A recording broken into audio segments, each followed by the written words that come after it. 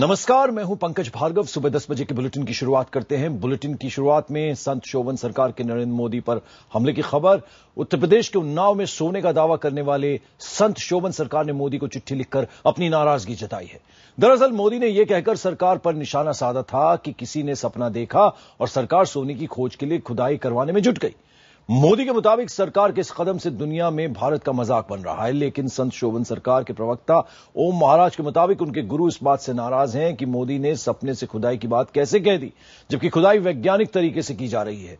शोभन सरकार इस बात से भी नाराज़ है कि देश के प्रधानमंत्री पद का उम्मीदवार इस तरह की हल्की बातें कैसे कह सकता है। मोदी ने यह भी कहा था कि खुदाई की बजाय विदेशों से काले धन को भारत लाने पर ज़ोर दिया जाना चाहिए।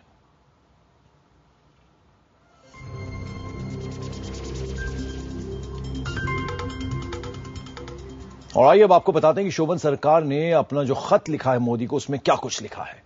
उसमें उन्होंने लिखा है कि आदरणीय नरेंद्र भाई विनम्रता पूर्वक कहना चाहता हूँ कि केंद्र सरकार और श्रीमती सोनिया गांधी पर हमला करने की हड़बड़ी में आपने संत की मर्यादा का भी उल्लंघन कर दिया है। सत्य संकल्प श्री स्वामी शोभन सरकार जी ने जो सपना देखा, वो इस राष्ट्र को विश्व की सबसे शक्तिशाली आर्थिक शक्ति बनाने का है।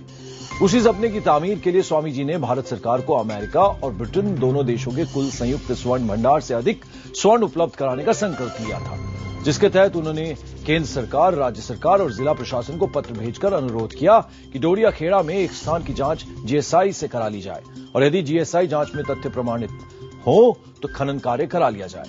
यहाँ तो केवल एक हज़ार टन सोने की बात है। शोभन सरकार जी ने तो राष्ट्र को इक्कीस हज़ार टन स्वर्ण कोष उपलब्ध कराने का संकल्प लिया है। आप जैसे प्रभावशाली नेता से गुजारिश है कि अनर्गल प्रलाप करके समय न व्यर्थ करें। ये बातें जो चिट्ठी गई है नरेंद्र मोदी को, उसमें लिखी हैं।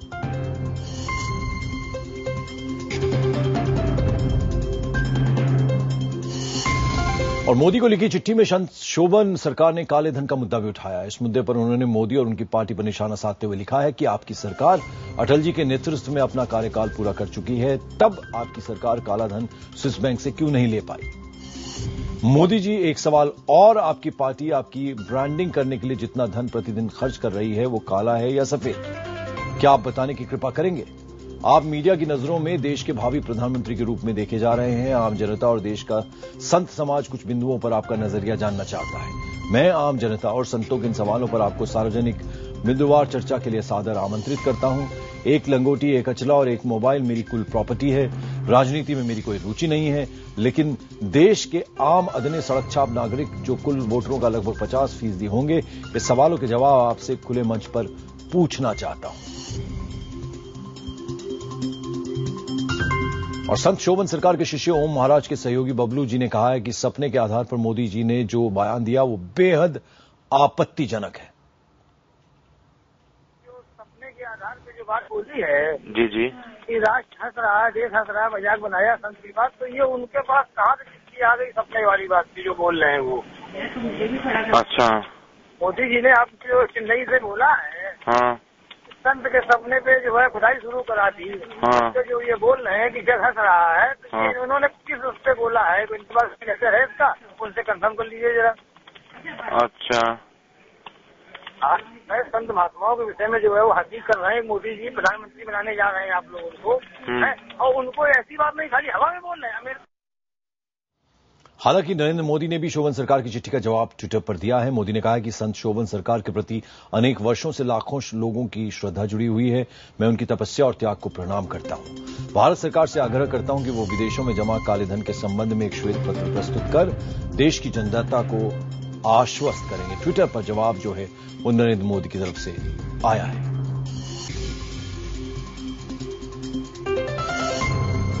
और आइए अब आपको सुनाते हैं 18 अक्टूबर को जब मोदी चेन्नई में थे तो उन्होंने उन्नाव के डोडिया खेड़ा में हो रही खुदाई पर किस तरह केंद्र सरकार पर निशाना साधा था? सपना आया और दिल्ली की सरकार एक हज़ार टन सोना खोजने के लिए खुदाई करने में आज लग पड़ी है। अरे दिल्ली की सरकार, स्विट्जरलैंड की बैंकों में, हिंदुस्तान के चोर लुटेरों ने जो रुपये रखे हैं, वो एक हज़ार टन सोने से भी ज़्यादा कीमत के हैं, वो तो पता है, लो आपको बता दें, हमारे वरिष्ठ सहयोगी मनोज राजन त्रिपाठी, उन्होंने संत से मुलाकात भी की थी और उसके बाद लगातार हमें वहाँ से अपडेट भी दे रहे थे डोडिया खेड़ा से। इस वक्त भी हमारे साथ जुड़ रहे हैं मनोज राजन त्रिपाठी। मनोज, जो चिट्ठी आश्रम की तरफ़ से गई है, उसमें खासे नाराज़ हैं यहाँ पर संत शोभन सरकार और साफ़ साफ़ नरेंद्र मोदी से लिखा है कि आपने संत मर्यादा का उल्लंघन किया है।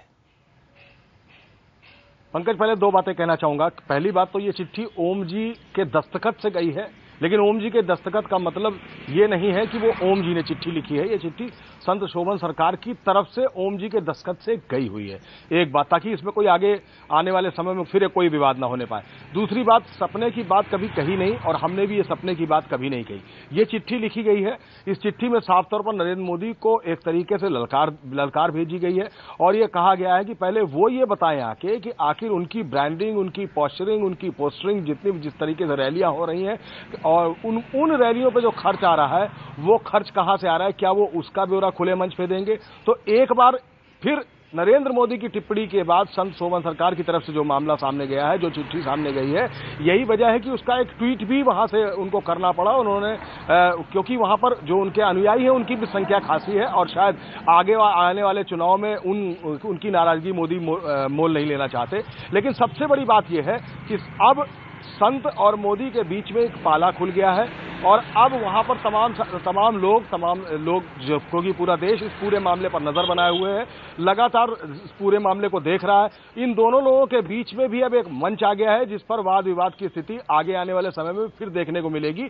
और सबसे बड़ी बात यह है कि इस चिट्ठी को लिखकर एक बार उन्होंने अपनी स्थिति स्पष्ट करने की कोशिश की है।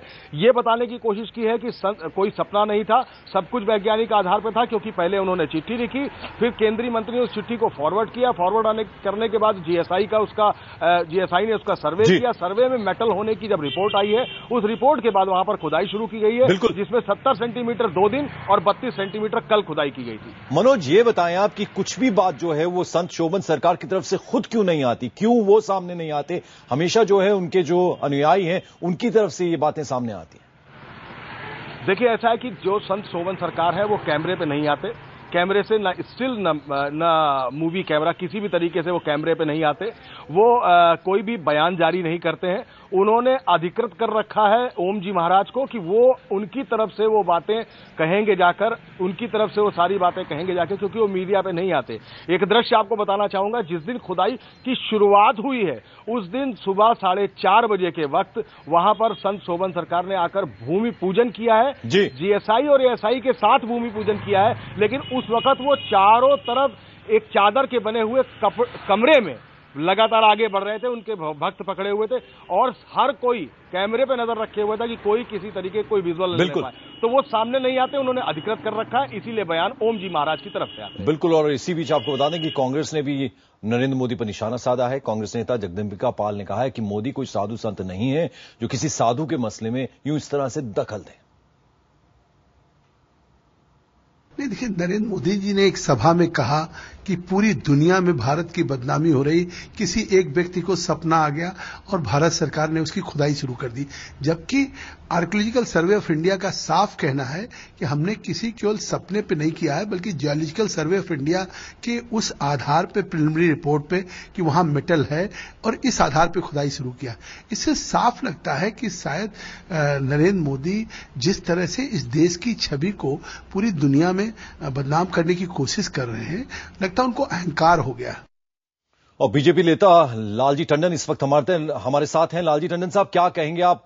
काफ़ी नाराज़ शोभन सरकार हैं। नरेंद्र मोदी ने जिस तरह से बयान दिया था उनका कहना है कि आप संत मर्यादा का उल्लंघन कर रहे हैं। संत जी को भी सही भावना संबंध चाहिए मोदी ने संत की कोई आलोचना नहीं की। उन्होंने तो केवल इतना कहा है कि यहाँ पर खुदाई करने में तो सरकार इंटरेस्ट दे रही है। जी। लेकिन जो विदेशों में धन जमा है जिसकी धनराशि जो है इस सोने से बहुत ज़्यादा है उसको करने के लिए ये बहुत है। और हम लोग बराबर उसके लिए लड़ाई लड़ रहे हैं कि वो पैसा भारत में आएगा तो यहाँ के विकास में लगेगा। तो वहाँ पर वो भ्रष्टाचार कर रहे हैं। उसके लिए उन्होंने कहा कि भाई उसके बारे में भी तो सोचो। उसके बारे में क्यों नहीं कर रही है सरकार? नहीं काला धन वापसी कोई काला धन वापसी पे भी उन्होंने लिखा कोई खुदाई का विरोध नहीं किया। उन्होंने ये कहा कि एक एक संत के स्वप्न के आधार के ऊपर वहाँ पर खुदाई हो रही है। जी। तो वो खुदाई का विरोध नहीं किया उन्होंने रेफरेंस दिया। लेकिन विदेशों में इतना धन जमा है इस पर इस पर भी उन्होंने कहा है लालजी टंडन साहब इस पर भी उन्होंने कहा है कि जब आपकी सरकार थी एनडीए की सरकार थी तब क्यों वो काला धन वापस नहीं आया? नहीं नहीं ये ये उस वक्त तो इतना बड़ी रकम नहीं थी। हमने जब दूसरा एनडीए दूसरे में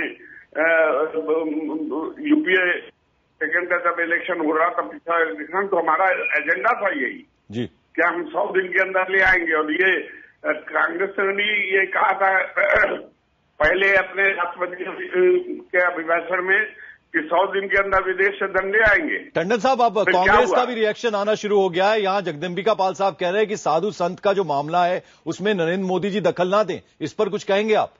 अ, नहीं साधु संत नरेंद्र मोदी दखल दे रहे हैं ना हम लोग दखल देते हैं उनको तो वो सम्मानित हैं, उनका सम्मान अपनी जगह है, उनकी बात अलग है, लेकिन पॉलिटिकली हम इस बात के ऊपर ज़ोर दे के कहेंगे कि ये केंद्र में बैठी हुई सरकार बेईमानी कर रही है, जो विदेशों से धन डालने की बात करते हैं, उनको घुमाने की कोशिश करते हैं। चलिए, बहुत बहुत शुक्रिया लालजी टंडन साहब आईबीएन सेवन से बात करने के लिए। और यहाँ वक्त छोटे से ब्रेक का है।